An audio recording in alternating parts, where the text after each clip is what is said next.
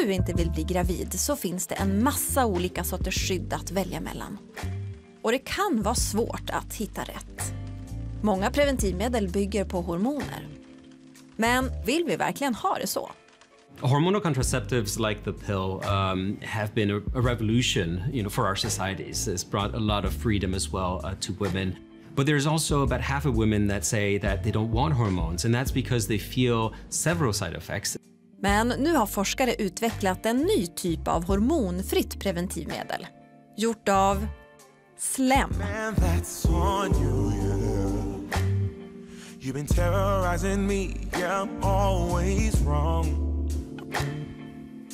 Det är segt.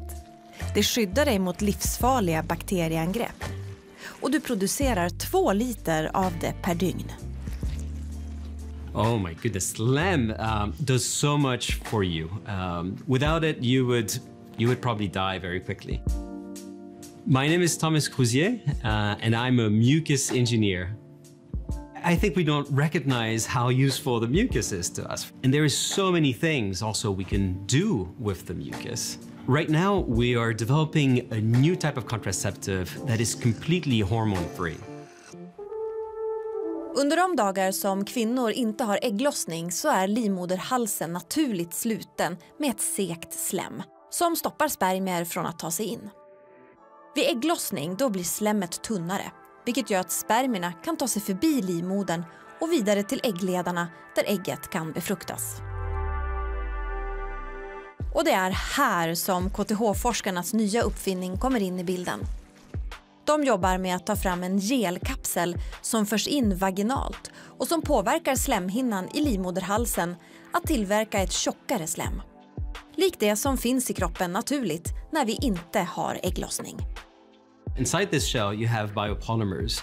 A biopolymer is a polymer that comes from nature. And a polymer is a large molecule that is composed of smaller molecules linked together in a long chain. This particular biopolymer we can find in mushrooms, uh, but also in the shell of crabs or shrimps. And these biopolymers interact with mucus that is already there in our body um, and simply reinforces uh, its barrier properties. It prevents the sperm from going up the reproductive tract to the egg um, and prevents us from getting pregnant.